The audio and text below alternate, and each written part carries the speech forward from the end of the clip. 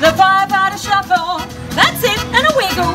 You turn around, you jump up and down. That's how you do the five out shuffle.